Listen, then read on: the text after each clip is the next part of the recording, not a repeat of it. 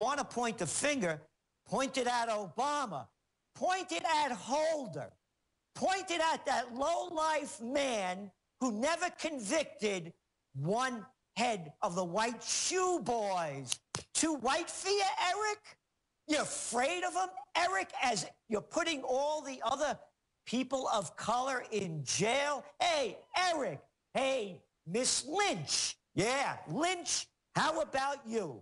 How about you who convicted five banks? Oh, excuse me, six of felonies, convicted of felonies for rigging the LIBOR rate and the Forex market, and did not, did not prosecute one.